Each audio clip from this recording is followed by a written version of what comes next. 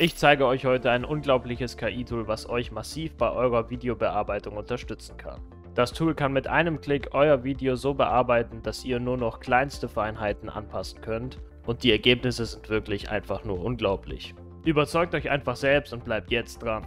Das Tool heißt eben AutoCAD, es gibt es für Mac und Windows und es ist momentan eben für Adobe Premiere Pro verfügbar und die Entwickler arbeiten eben daran, um das Ganze eben auch noch in anderen Videoschnittprogrammen zu integrieren.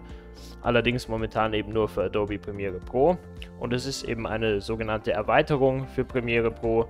Also ihr ladet euch hier das Tool eben runter und dann wird das Ganze unter Erweiterungen in Premiere Pro direkt angezeigt und jetzt zeige ich euch, wie das Ganze dann aussieht. Ich verlinke euch auf jeden Fall die Seite von AutoCAD in der Videobeschreibung, damit ihr hier in Ruhe auf der Seite nochmal alles nachlesen könnt, bevor ihr dann das Tool eben herunterladet. So, jetzt sind wir bei Premiere Pro und ich zeige euch erstmal, wo ihr dann die Erweiterung auch finden werdet, um zu sehen, ob das Ganze auch nach der Installation alles geklappt hat. Also folgt einfach den Installationsschritten, die euch angezeigt werden und danach sollte das auch funktioniert haben. Hier oben bei Fenster findet ihr dann den Punkt Erweiterungen und dort sollte dann AutoCAD auch angezeigt werden. Dort könnt ihr einmal draufklicken und dann startet das Programm eben hier automatisch. Es handelt sich hier eben um eine Erweiterung von Premiere Pro, also ihr könnt hier eben dieses Fenster einfach so herumschieben und dort platzieren, wo es euch am besten passt. Und hier könnt ihr auch schon sehen, momentan kann man hier nicht sonderlich viel machen. How to use AutoCAD, to use AutoCAD, select at least one clip. Das können wir auch einmal machen. Ich habe hier schon einen Clip ausgewählt von einem anderen Video, das ich schon mal aufgenommen habe. Und das habe ich hier schon in die Timeline eben reingezogen. Das können wir jetzt einmal auswählen und dann seht ihr, ändert sich hier auch schon etwas in AutoCAD.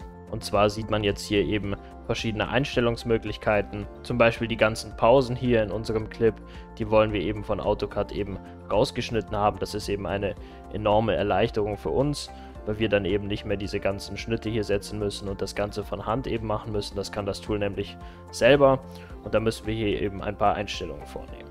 Hier müsst ihr eben selber nach euren Belieben ein bisschen herumspielen, ein bisschen herumexperimentieren, bis ihr dann einigermaßen hier ein gutes Ergebnis für euch gefunden habt. Natürlich kann es hier und da auch mal nicht so gut funktionieren. Ihr solltet euch natürlich immer den Clip nochmal, bevor ihr das Video eben zum Beispiel auf YouTube dann hochladet, nochmal anhören und ihr müsst auf jeden Fall noch Feinheiten nachjustieren. Und hier könnt ihr dann eben auswählen, dass ihr eben die Pausen, die länger als 0,3 Sekunden sind, eben rausschneidet. Und hier könnt ihr eben auf der rechten Seite auch auswählen, dass ihr sozusagen kurze Versprecher oder Räusper oder so direkt rausgeschnitten bekommt. Sogenannt Remove Talks Shorter Than. Und dann kannst du hier auswählen 0,2 Sekunden zum Beispiel. Und das war jetzt in meinem Fall immer ganz gut.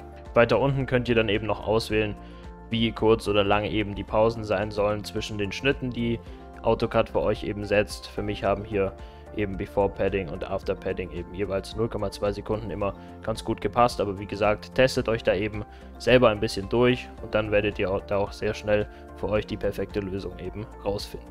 Dann weiter unten können wir eben noch den Pegel anpassen.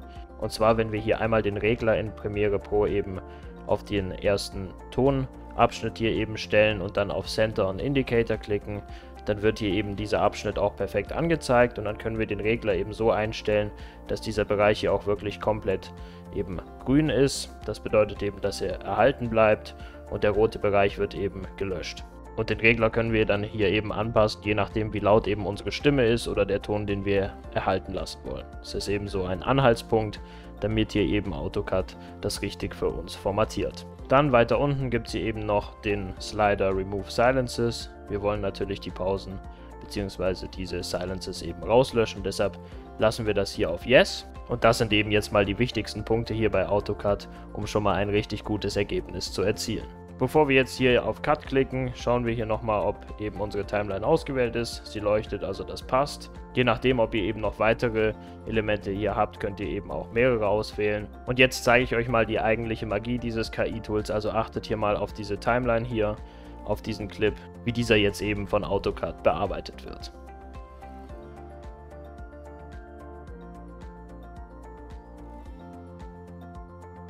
Zack, nach wenigen Sekunden ist das Ganze auch schon fertig. Hier kriegen wir eine Benachrichtigung in der Erweiterung AutoCAD, dass das Ganze abgeschlossen wurde.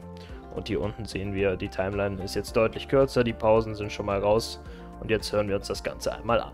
Ein wichtiger Punkt noch, wenn man jetzt beim Anhören merken würde, es ist irgendwas schiefgelaufen, man hat eine Einstellung eben komplett falsch gemacht, falsch gesetzt, dann kann man hier bei Undo Cuts eben das Ganze auch wieder zurücksetzen. Also hören wir uns das Ganze einmal an.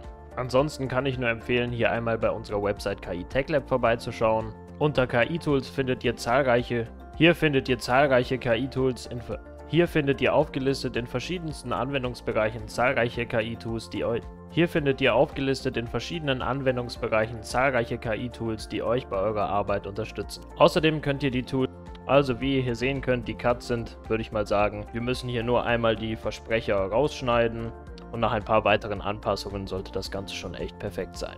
Einmal bei unserer Website KI Tech Lab vorbeizuschauen. Hier findet ihr aufgelistet in verschiedenen also es ist schon wirklich verblüffend, was dieses Tool hier eben kann und wie es deine Arbeit eben jetzt in Zukunft auch noch erleichtern kann. Noch kurz abschließend zum Preismodell, also um das Ganze einmal selber auszutesten, könnt ihr hier eine 14-tägige Testversion herunterladen. Danach ist das Ganze dann mit einem kostenpflichtigen Abo verbunden, zum Beispiel 9,90 Dollar pro Monat oder der Yearly Pass für 94,80 ähm, pro Jahr. Oder ihr kauft das Ganze eben einmalig und habt das dann euer Leben lang hier für 200 Dollar.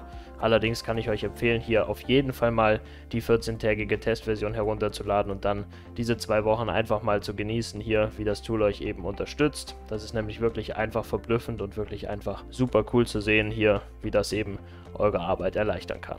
Nutzt dann auf jeden Fall diese zwei Wochen Testversion und produziert ganz viele Videos. Ansonsten kann ich nur empfehlen, hier einmal bei unserer Website KI Tech Lab vorbeizuschauen. Hier findet ihr aufgelistet in verschiedenen Anwendungsbereichen zahlreiche KI-Tools, die euch bei eurer Arbeit unterstützen können. Ihr klickt hier einmal auf das Tool drauf, bekommt dann schon mal eine kurze Toolbeschreibung angezeigt und könnt hier auf diesem Button das Tool dann direkt ausprobieren. Außerdem könnt ihr Tools jetzt zu eurer Favoritenliste hinzufügen und könnt unter dem Reiter Deine KI-Tool-Favoriten dann eure eigene Liste anpassen und zusammenstellen, um dann eine Übersicht zu haben über die KI-Tools, die ihr im Alltag dann auch nutzen wollt. Des Weiteren gibt es jetzt den neuen KI-Blog auf unserer Website. Hier werden jetzt auch regelmäßig neue Posts über KI-Tools und die neuesten KI-Innovationen veröffentlicht. Schaut auf jeden Fall mal vorbei, ich bin mir sicher, dass ihr hier auch fündig werdet.